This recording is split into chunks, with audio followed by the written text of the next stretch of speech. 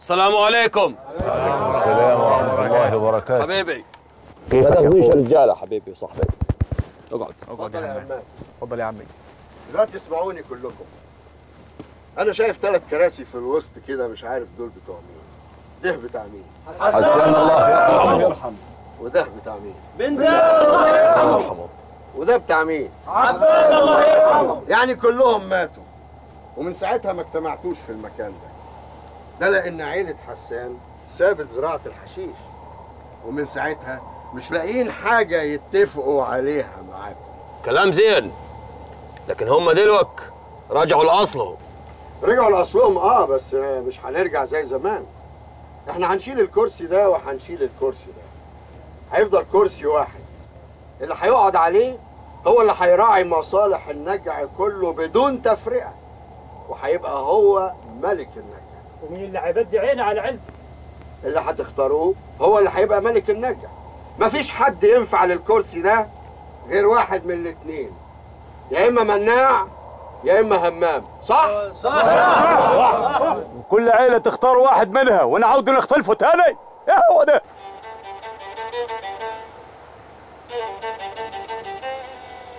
وإيه رأيكم؟ ان أنا بنفسي. اختار مناع. يكون كبيرنا. يكون ملك النجع كله. بس!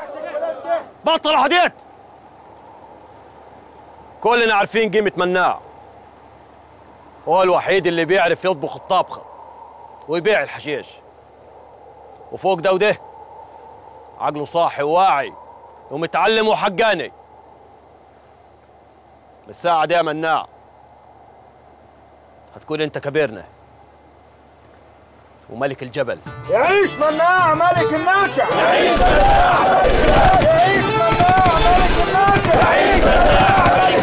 اول هام بشكر صاحبي همام اللي فضلني عن روحه. وتاني هام لازم نصفي النفوس. وقبل ما أبقى كبيركم كلكم ونبقى عيلة واحدة لازم أجيب حق المظلوم. سيعلم الذين ظلموا أي منقلب ينقلبون. صدق الله العظيم.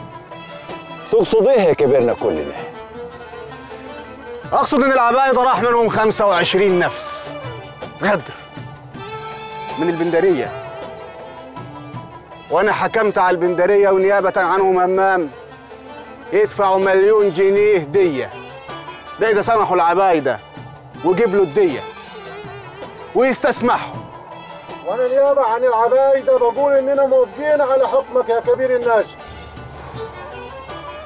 يا قولك يا صاحبي. أترضى بحكمي ولا بلاش منها الكبرانية من أساس. وتفضل كل عيلة على حالها. نفوسها طفح المرار وشايلة الطار.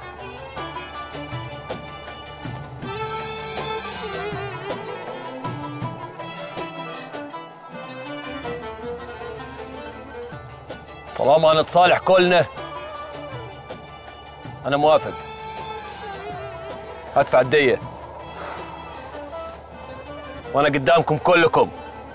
بقول للعبايدة أنا محقوق لكم. والمسامح كريم.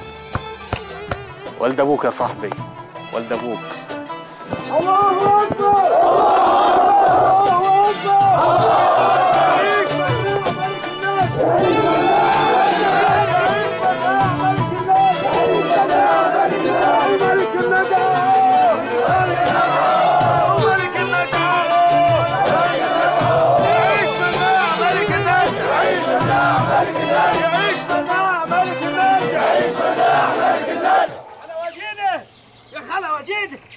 وجيده في إيه يا زرزور ما تتكلم سي مناع بقي ملك النجع أيوه وكلهم شايلينه فوق راسهم وبيلفوا به النجع يعني إيه ملك الناجي يعني اشتراه بفلوس وبقى ملكه كمان؟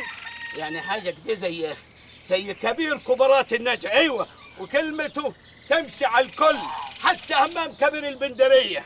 أيوه ومحدش يعصاله أمر ملك. وهمان جبل بكده معرفش. في الأول عيلته كانت رافضة لكن هو تنازل لسمناع وقال أني أول واحد يطيعه وفرض على عيلته كلها تطيعه قبل منه. وايه يعني؟ فطول عمري مناع وكلمته كانت بتمشي على همام وعلى أبوه وعمه دياب. لا ياما ده كان زمان. أيام ما مناع أخويا كان شايلهم في زراعة الحشيش وباعه ما هو ما دام رجعنا نزرع الحشيش من تاني يبقى الكل لازم يطيعه يعني مش جميلة ولا حاجة. طب إيه قولك؟ ان سي مناح حكم على همام يدفع مليون جنيه للعبايدة. دي ها، ويستسمعهم كمان. همام توقف دي كمان. إيه اللي طوعوا حبه على راس كبير يا عبايدة. لا ده يبقى الحكاية فيها إن لا ياما سأليني أنا. لا إنا ولا حاجة. ده حتى همام طول عمره بيحب مناع وبيسمع كلامه من وإحنا صغيرين. مستغرب ليه مناع من اللي أنا عملته. لأن خبرك زين يا همام وعارف إنك ممكن تتمسكن لو ليك مصلحة عندي إنما توقف كده. شوف يا مناع الحج ما يختلفش عليه اتنين. وكل أهل النجة عارفين قيمتك زين وأولهم أنا وعيلتي. يعني مش هترجع تعرضني تاني يا همام في أي حكم أحكمه. طيب يا مناع أنا هقولها ليك وقدام كل الرجالة دي. أنت الملك يا مناع وأنا أول واحد هيطيعك. بس بشرط يا مناع صون كرامة عيلتي وتخليني الوزير بتاعك.